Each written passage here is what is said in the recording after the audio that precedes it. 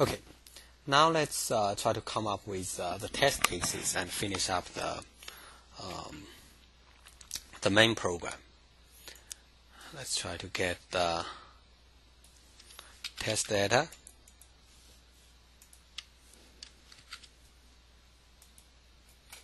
Okay, so that's the student students.txt and then we would have grades.txt. Okay, so let's try to save it.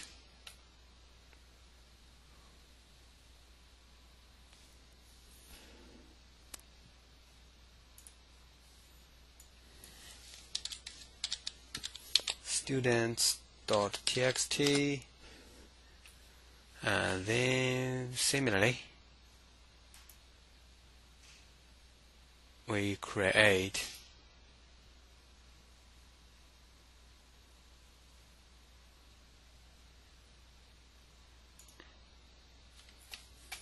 grades.txt.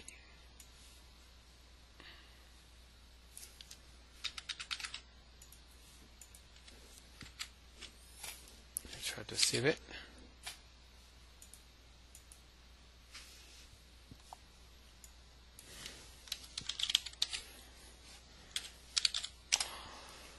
Now we are ready to write to the main program. We try to create the main. Create the class. Call this as recordman. And I do like to have the main method.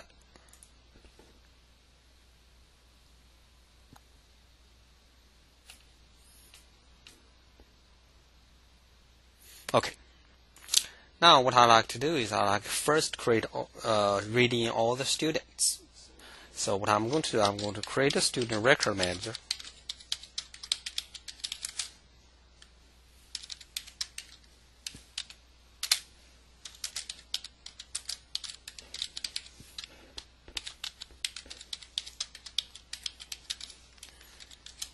Okay, and then we try to create a scanner to read the uh, student.txt. Student input.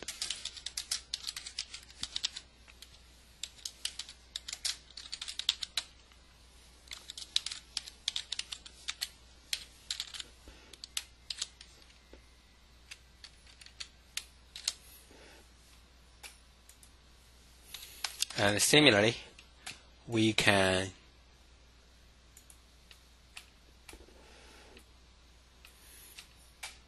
uh, create a scanner for grades.txt. Okay. So similarly, we can create grid input.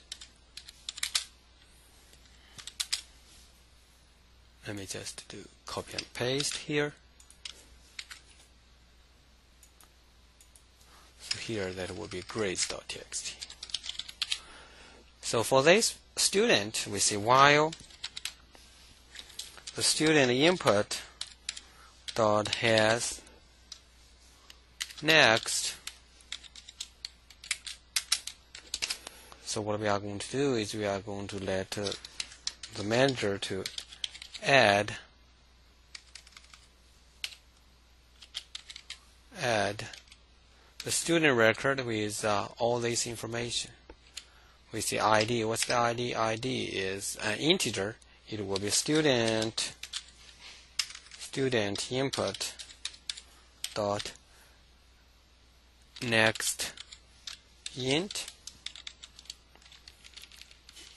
and then it will be student input dot next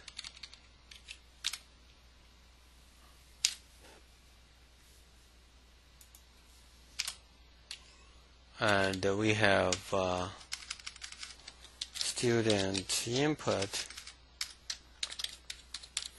dot next double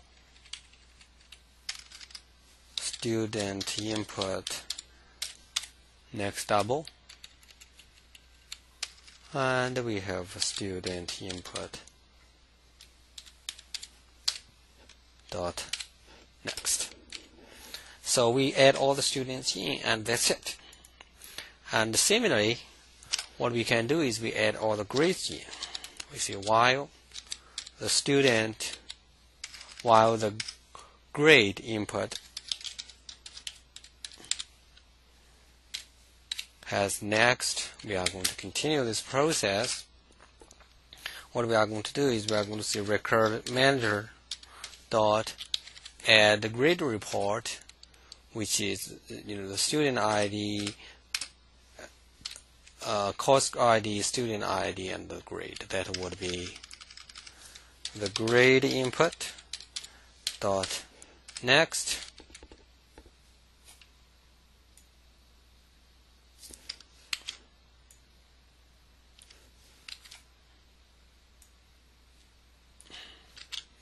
and this will be next int and that will be next uh, double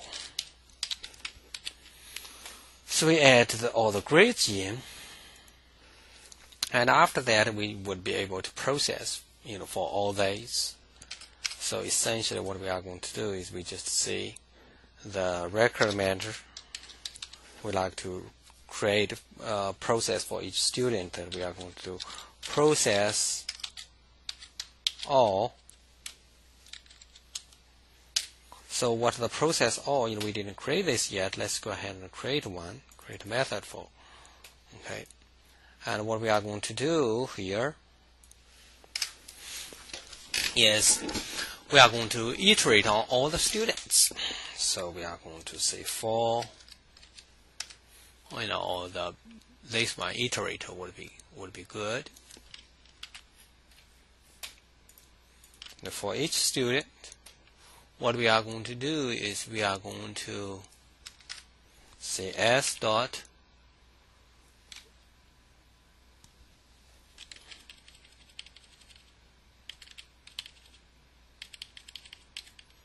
we are going to update for each student. Okay, and we are going to do for all the students after, you know, we are going to update the status update, the GPA, all that information, we are going to do the sort. Okay, and what we are going to do, we are going to just change this from a public method to a private. So because we are going to use this method only within the process all method. This will process the updates and uh, the sorting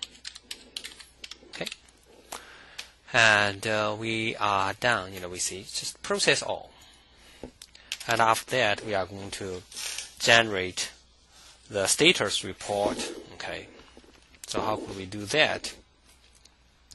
Essentially, you know, we would let a the student manager to do that. We say, okay.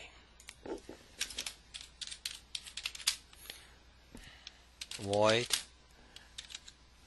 report and when we do the report, we are going to specify the file that you are going to do the report.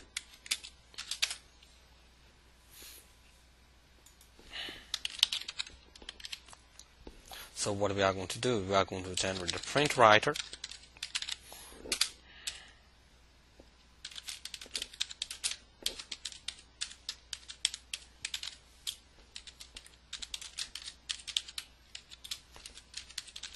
specify you know the file and we are going to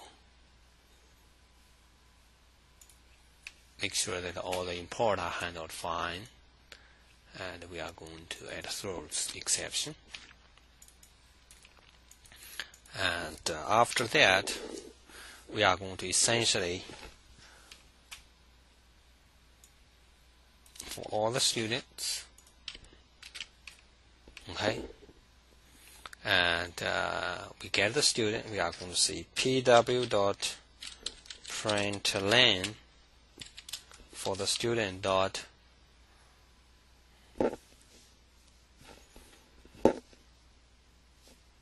we see output string. And we are going to generate the output string for a specific student. Let's go ahead and implement that one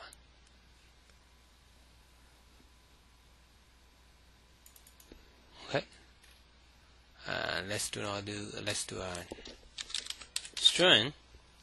So what we are going to do is we are going to have return the ID we have a tab then followed by the name followed by the new GPA followed by a tab and then status. Okay, now this thing so that's it. And what we are going to do is we see record manager dot uh, report and we are going to specify the file name. The file name is called status reports txt. Okay, and uh, now you know we are about done, and let's go ahead and uh, run the program and see what's going on.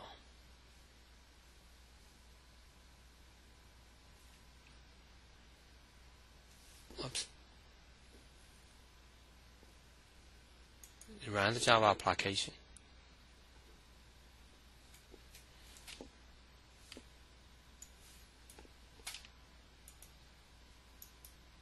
And uh, let's try to refresh it. And you have the status report. Let's do this. Let's try to in the student record manager we are going to instead of do a report we are going to do a display. Okay just to make it a little bit easy so we do display. And for the display, instead of using a print writer, we just do system.out.println. Okay, we use system out. And for this recommend, what we are going to do is we are going to simply do display.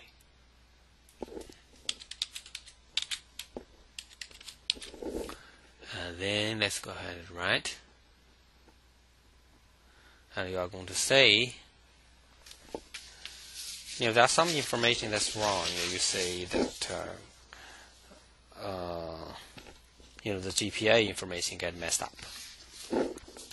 Now let's go back to take a look at logic because you look when you look at this number you know this number looks pretty large and for grades if you look at that and use for uh, Tyler. Let, us look at all these large numbers. You know we have Amy and we have Tina.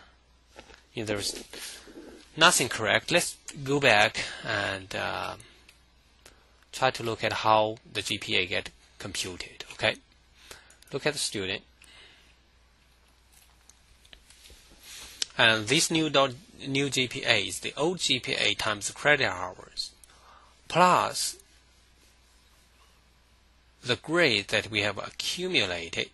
Okay. And how many courses that you have taken times 3, that's the overall credit hours. We have this accumulated.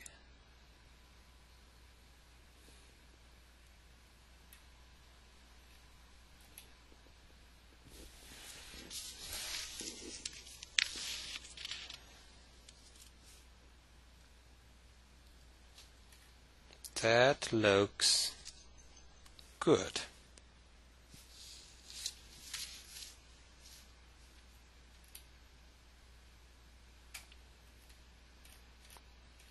Let's add a little bit more information here. We try to get the the credit hours plus the number of the courses here. That would be the grades dot size times 3, that would be overall how many credit hours after that specific semester.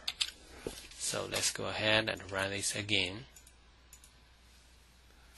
And let's say you have grades in a 9 9 and let's say of 20 soccer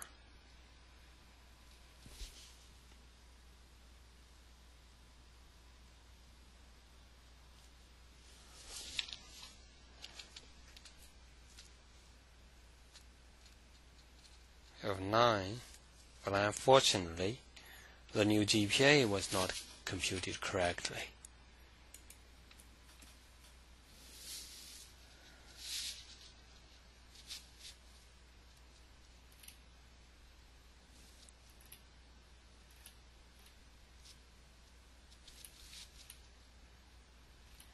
Okay, let's. The first one, credit hours, uh, ID, name, credit hours, GPA, status.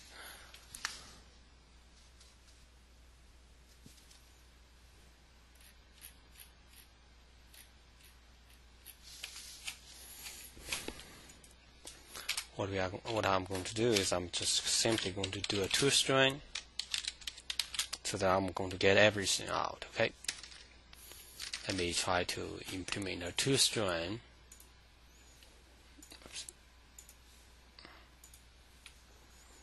So I have everything. Then I don't really don't need this information.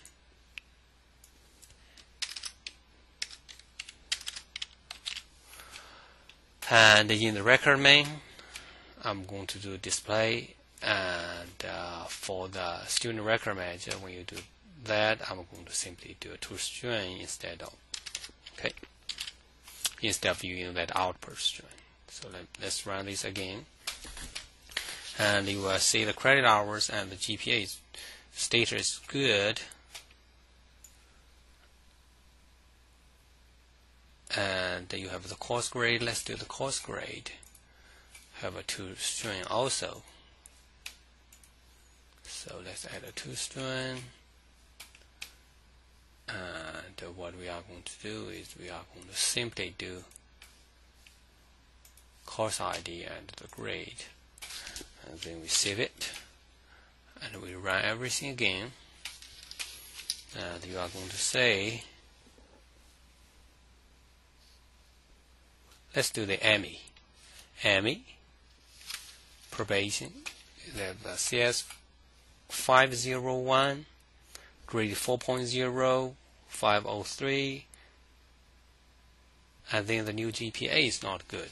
So the only problem that happens here is the computation of the new GPA. Let's take a look at the GPA again. This dot new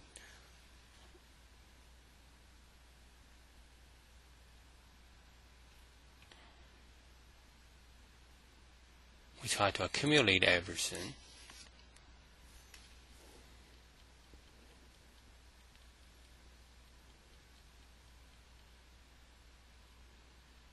Okay, I see. Because each one would be, so this grade of size should not be get multiplied again. So that would do everything. So let's just write. And, uh, and you should say that the GPA, the first one is Soccer, and the GPA is 3.77 and then the last one is Tina, and you see the new states, and you say this would be good, good, good. Then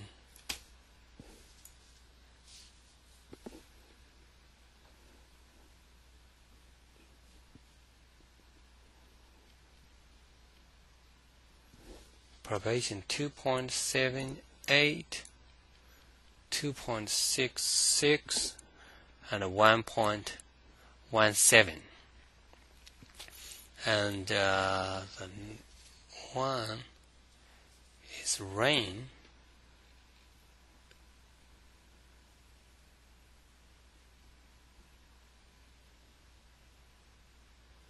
after rain is Kevin.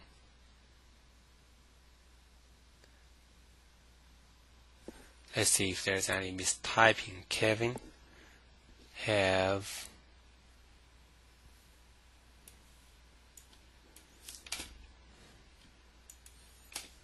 one A and have uh, another A. Okay, let's see. Kevin before is 2.33 has 12 credit hours there. And after this,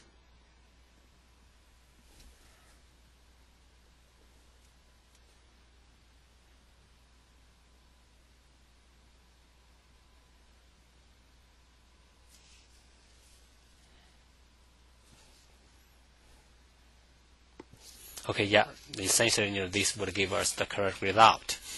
And after this point, all you have to do is just uh, do the record manager dot uh, report, and we specify the file name that's status reports.txt. So you can do that again, status reports.txt and we would have everything sorted. And uh, you know all this code, you know online. If you get any questions, let me know. Thank you.